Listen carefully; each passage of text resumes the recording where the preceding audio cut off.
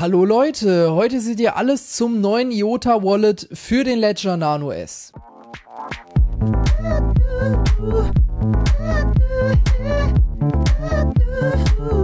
Ja, jetzt haben wir so lange auf die Ledger Wallet äh, für IOTA gewartet und jetzt ist sie endlich da. Wir können sie uns jetzt über den Ledger Manager ähm, auf unser Nano S oder auf unseren Ledger Blue herunterladen. Wir brauchen noch ein extra Programm ähm, dafür. Aber das möchte ich euch jetzt alles mal in diesem Video zeigen. Also ähm, wie connecte ich den Ledger ähm, mit ähm, dem IOTA Wallet, wie funktioniert das? Und wir wollen uns im Allgemeinen einfach mal das Wallet anschauen. Ich denke, viele haben jetzt schon darüber geschrieben, wow, es ist endlich da. Aber ich möchte gerne mal ein praktisches Video dazu machen. Und natürlich an alle, die es noch nicht mitbekommen haben, ja, es ist endlich da. Wie lange hat es gedauert? Ähm, genauso lange warte ich übrigens auch schon auf das ähm, XSN Ledger Wallet. Ähm, da hoffe ich auch, dass es dann äh, endlich mal dazu kommt, ähm, dass auch das äh, rauskommt. Ja, das wäre super.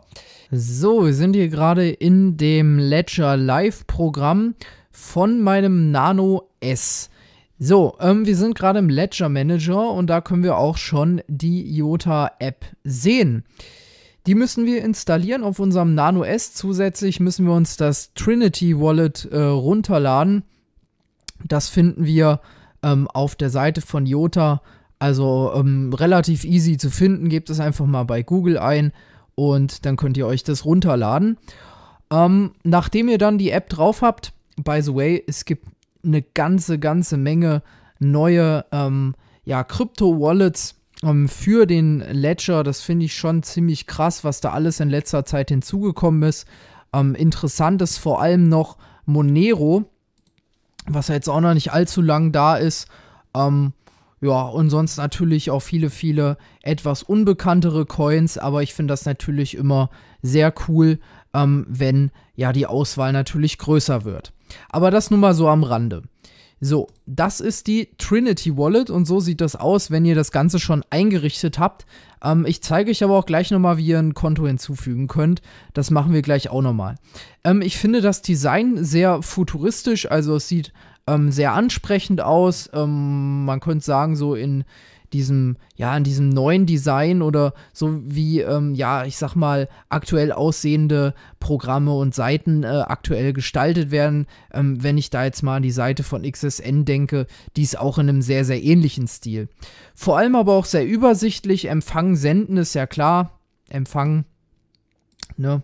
Dort könnt ihr eben eure Kryptowährungen empfangen. Logisch, das sagt das ja auch schon. Jetzt öffne ich mal die Jota-App auf dem Ledger Nano S es scheint fast so, als hätte das Programm ein kleines Problem, wenn ich den, äh, die Ledger Live App im Hintergrund noch offen habe.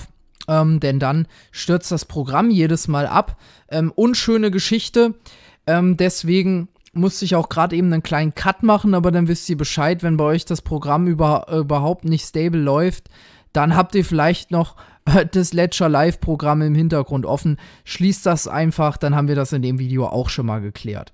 Also, ähm, wie gesagt, die Empfangsadresse kriegen wir jetzt hier auf ähm, den Ledger nochmal angezeigt. Können die jetzt von oben bis unten hier nochmal auf dem Ledger durchgehen, wie wir das auch schon von anderen Apps kennen.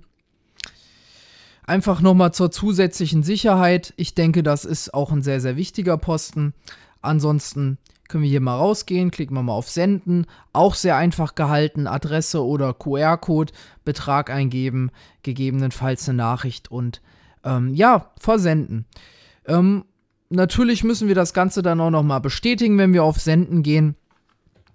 Aber ähm, ich denke, das sollte allen klar sein. Gehen wir mal in die Einstellungen. So, Optionen. Sprache können wir zum Beispiel einstellen, mit welcher Node wir verbunden sein wollen. Das Design können wir einstellen. Die Währung habe ich auch schon umgestellt auf Euro. Zwei-Faktor-Authentifizierung können wir auch noch einstellen. Dann habe ich anfangs ein Passwort vergeben, was wir bei jedem Programmstart eingeben müssen, so wie bei der Ledger Live App. Das können wir hier natürlich auch ändern. Und ja, hier können wir noch so ein paar äh, Dinge auch umstellen. Ich hatte hier auch irgendwo gesehen, ähm, dass wir genau Proof of Work Einstellungen Ähm, das kann man hier auch einstellen. Also damit die Transaktionen äh, gebührenfrei versendet werden können, so steht sie so schön, wird eine kleine Berechnung durchgeführt. Ähm, da kann man das hier auch umstellen, ob man das lokal auf seinem Rechner machen will oder ob das eine Node übernehmen soll. Aber ich denke, das ist jetzt nicht so die krasse Rechenleistung. Das können wir auch gerne so lassen. So, wie fügen wir das eigentlich hinzu? Ähm, ganz einfach, wenn ihr startet und die App auf eurem Ledger habt, dann könnt ihr die direkt starten. Öffnet dann das ähm, Trinity Wallet und dann seht ihr ungefähr äh, das hier. So, Ledger Device Connected and Ready. Wunderbar, okay, wir können starten. Ledger Account Index. Hier steht, make sure you note, you note down your chosen index number. Also wir sollten diese Index Number schon aufschreiben. Da könnt ihr jetzt jede beliebige nehmen. Mal gucken, wie weit das geht. Boah, das geht ziemlich weit. Also wir können ähm, hier auch eine ganz beliebige Zahl eingeben. Oh, wenn ich jetzt hier auf die 0 gehe, dann steht hier, boah, die ist schon in Benutzung. Das heißt, ähm, können ja einfach die 0 nehmen, aber man sollte sich das schon aufschreiben. So, jetzt nehmen wir hier mal die 1 zum Spaß. Gehen wir auf Fortfahren. Und dann müssen wir dem Ganzen noch einen Namen geben. Beispielsweise äh, Jumpers Wallet. Fortfahren. Ich denke, das äh, erklärt sich auch mehr oder weniger von selbst. Ist ja eigentlich nur weiter, weiter fertigstellen. Ein ähm, paar kleine Einstellungen beachten, Name vergeben. Mein Gott, dann war es das auch schon. Also ich denke, das ist sogar fast selbsterklärend. Das hat bei mir so ein ganz kleines bisschen gedauert, bis es dann auch funktioniert hat. Ähm, aber mehr ist es dann auch nicht. Dann seht ihr das, was ich euch eben schon alles erklärt habe. Und ähm, wenn jetzt noch Fragen zu dem Thema äh, Ledger und Trinity Wallet oder IOTA habt, dann ähm, schreibt mir das auch mal in die Kommentare. Ähm, sofern ihr noch kein Ledger habt, ja, soll ja vorkommen, dann schaut auch mal in die Beschreibung. Ähm, ich kann nur ein, eine Hardware-Wallet immer wieder empfehlen, weil es einfach die sicherste Variante ist, seine Kryptowährung zu verwahren. Lasst das nicht auf der Börse liegen. Börsen werden immer wieder ausgeräumt. Da war ja auch erst die kanadische Börse, die ausgeräumt wurde. Und ähm, ja, ganz wichtig, ähm, Hardware-Wallet besorgen, muss nicht unbedingt eins von Ledger sein, aber die kann ich auf jeden Fall sehr empfehlen. Gerade jetzt auch ähm, wo immer und immer mehr Kryptowährungen unterstützt werden. Ja, Leute, das war's weiter mit dem Video. Für diesen Sonntag hat mich gefreut, dass ihr wieder zugesehen habt. Ähm, jetzt würde mich noch eure Meinung zu dem Thema interessieren. Seid ihr auch froh, dass es endlich ähm, ein Ledger IOTA Wallet gibt oder sagt ihr, na, interessiert mich eh nicht? Also ich finde es auf jeden Fall cool, weil ich dann die IOTA nicht mehr auf der Börse liegen lassen muss.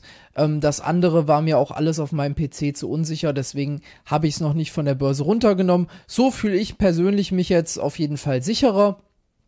Ich ziehe das jetzt nach und nach von allen ähm, Börsen ähm, auf den Ledger. Ähm, wenn ihr das gleiche macht, dann äh, schreibt es mir in die Kommentare. Wenn nicht, dann bitte auch. Ja, jetzt würde ich mich natürlich noch über eine Bewertung des Videos in der in Form eines Daumen nach oben freuen. Natürlich auch über ein Abo, sofern ihr mich noch nicht abonniert habt. Dann dürft ihr natürlich auch gerne die Glocke aktivieren. Und jetzt nochmal zum Abschluss ganz wichtig die Frage, ähm, was wünscht ihr euch? Ähm, noch für Videos. Schreibt mir das unbedingt mal in die Kommentare, weil ich möchte ungerne Videos machen, wo ihr jetzt sagt, mein Gott, das habe ich doch schon hundertmal gehört oder so. Ähm, deswegen sagt mir, was fehlt euch noch? Was fehlt euch vielleicht noch an auch wenn es Basiswissen ist, was fehlt euch noch an Kryptowissen? Was wolltet ihr schon immer mal wissen, aber ihr habt noch kein gutes deutsches Video dazu gesehen oder so?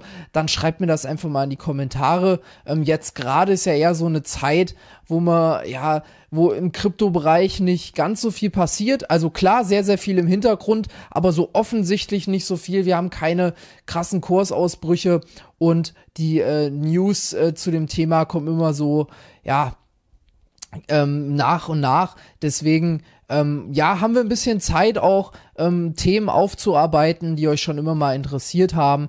Deswegen schreibt mir das einfach mal in die Kommentare. Ich würde mich auf jeden Fall sehr, sehr über eure Vorschläge freuen. Ansonsten wünsche ich euch jetzt noch einen schönen Sonntag und dann würde ich sagen, sehen wir uns aller spätestens nächste Woche Sonntag am Kryptosonntag um 18 Uhr wieder. Bis dann, Leute. Bleibt wie ihr seid. Ciao!